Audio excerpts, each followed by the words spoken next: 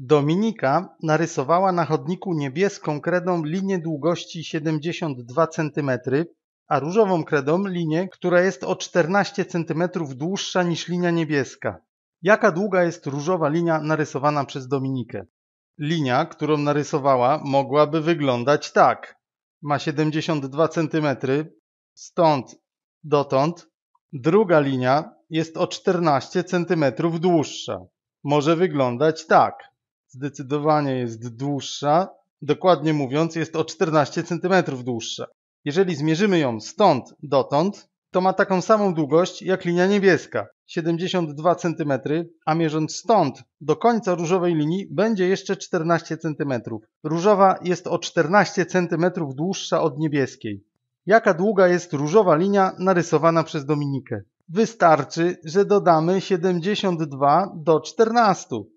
72 dodać 14, dwie jedności dodać 4 jedności to 6 jedności, 7 dziesiątek dodać 1 dziesiątka to 8 dziesiątek. Tak więc dłuższa z tych dwóch linii ma długość 86 cm. Następne.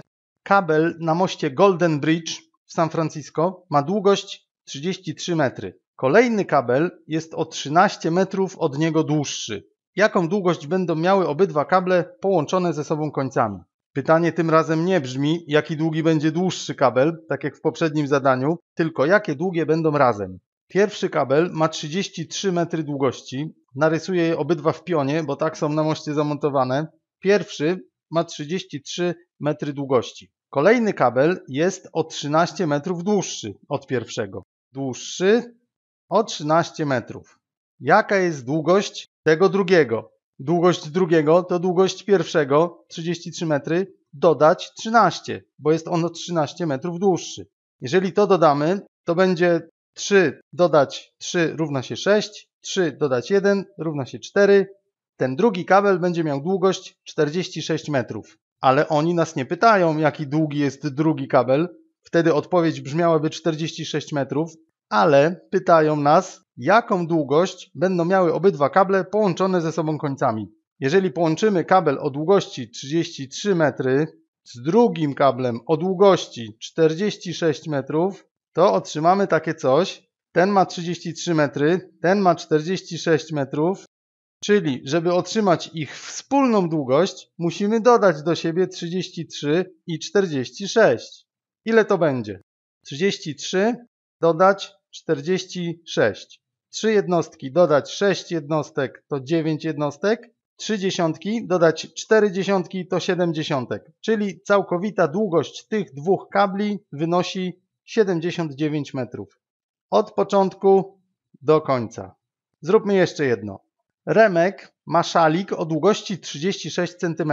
Postanowił odciąć część szalika tak, żeby miał on 19 cm. Ile centymetrów szalika odciął Remek? Narysujmy jego szalik. Miał 36 cm, tak wyglądał. Przed przycięciem, rozwinięty na całą długość, jego długość wynosiła 36 cm. Odciął część tak, że to co zostało miało długość 19 cm. Po przycięciu wygląda tak i ma tylko 19 cm. Pytanie brzmi, ile centymetrów odciął? To, co odciął, to musi być różnica pomiędzy 36 i 19. W tym miejscu musiał odciąć. Ta część odpada, żeby zostało to 19. Ta zakreskowana część to 36 odjąć 19, czyli różnica pomiędzy 36 i 19. Policzmy to. 36 odjąć 19 po kolei. Mamy 6 jedności i chcemy zabrać z nich 9 jedności. Trzeba coś pożyczyć. Zabierzmy jedną z dziesiątek, zamiast trzech zostaną dwie dziesiątki, a tę zabraną dziesiątkę dorzućmy do jedności i zamiast sześciu jedności będziemy mieli 16 jedności. 16 odjąć 9 równa się 7, dwie dziesiątki odjąć jedna dziesiątka równa się jedna dziesiątka. Musiałby odciąć 17 cm szalika. Miał szalik 36 cm, odciął z niego 17 cm i w ten sposób powstał szalik 19 cm. Można też zrobić to odwrotnie. Możemy zacząć od szalika 36 cm i odciąć z niego 17 cm. Ciekawe, co wtedy zostanie. Łatwo się przekonamy, że powstanie szalik 19 cm.